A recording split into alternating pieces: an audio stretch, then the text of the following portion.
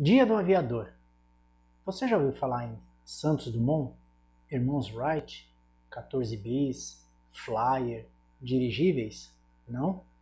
Você sabe quem inventou o avião? Bom, essas e outras questões você descobrirá neste vídeo, então bora lá!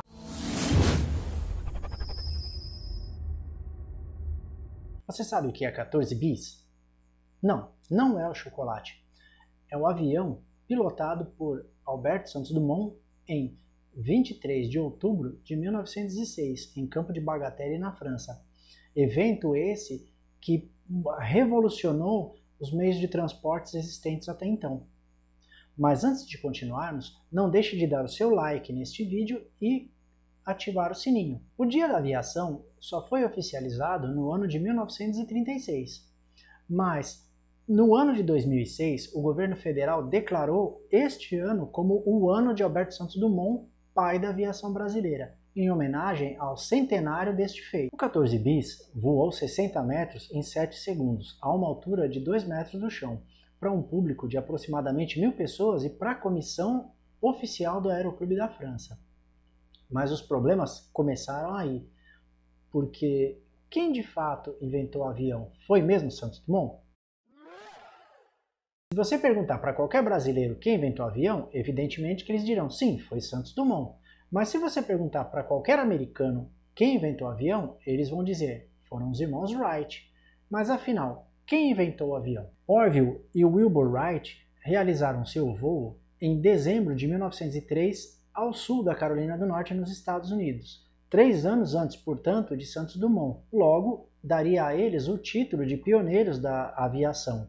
Mas como eles não conseguiram registrar esses feitos com o seu flyer, que era o nome do avião, e Santos Dumont, ao contrário, fez um evento para mil pessoas e para uma comissão, ele ficou logo aclamado em toda a Europa como o pai da aviação.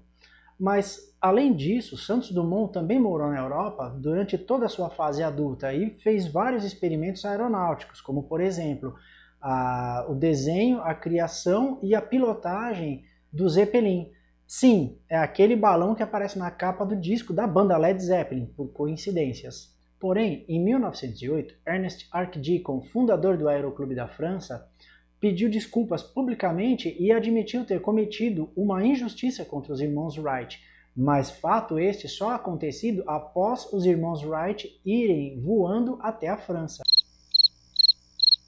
Há quem diga que os irmãos Wright não voaram de fato, pois o seu flyer decolou sobre trilhos, ao contrário do 14 bis de Santos Dumont que decolou de uma pista. Também uma outra corrente diz que, por conta de ventar muito na Carolina do Norte, os ventos lá são muito fortes, isso ajudou no voo do flyer dos irmãos Wright. E logo não seria um voo autônomo, mas sim um planador. Polêmicas à parte, muitos outros inventores também reivindicaram esse direito a ser o pioneiro da aviação. Entre eles, o mais importante, talvez o mais polêmico, se chamava Gustav Whitehead.